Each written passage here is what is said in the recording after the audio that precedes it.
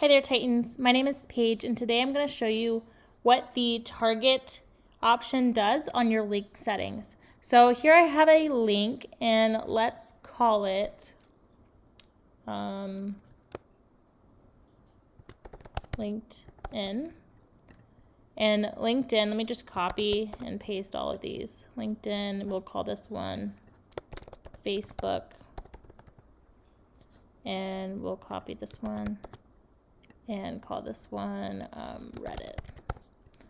Okay, so LinkedIn, I'm gonna have it go to the HREF, that's the website that it needs to go to.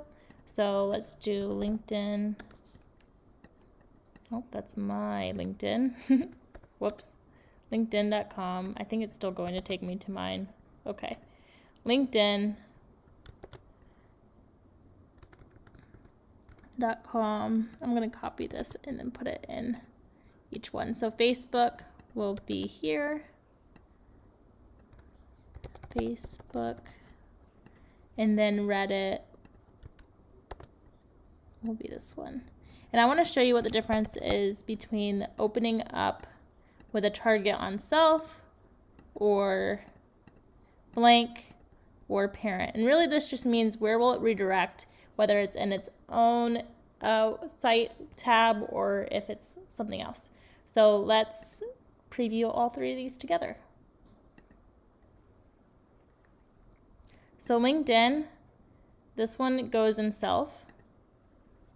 Uh, Facebook, this is going to open in blank.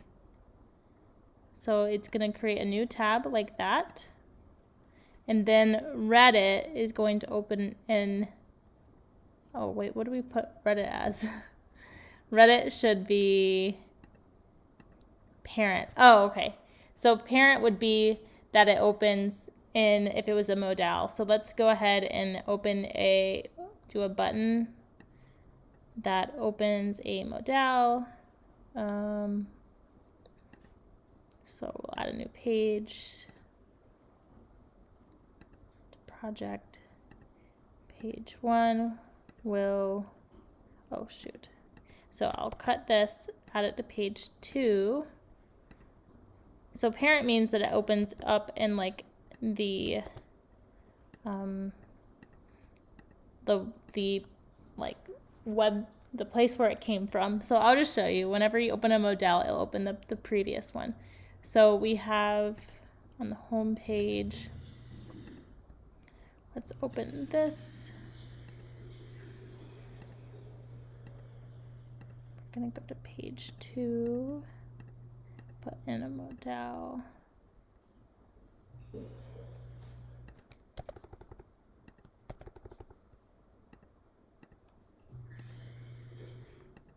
Okay, so now let's test the last one.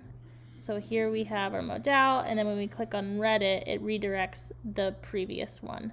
So that is how it's done. Thank you for watching, and I hope that that video helped.